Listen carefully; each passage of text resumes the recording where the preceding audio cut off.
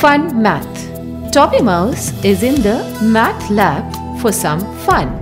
He opens the number box and pulls out 24. This is divisible by 2.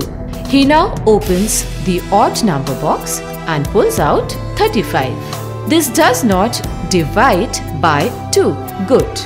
He now opens the palindrome box and displays 121. Yes, it reads backward and forward.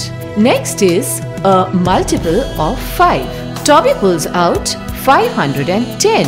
Yes, 12 fives are 510. He now pulls out 2030. Okay, 10 times 203 is 2030. He moves ahead to look for a square. He pulls out the square of 7 that is 49. Toby looks for a number divisible by 7. Yes, it is 714. Next is a prime number 35. Good work. This is a multiple of 23. 23 12s are 2346. Right. The last box has the number 99 and its digit sum is 9 plus 9 which is equal to 18. That was fun, Toby.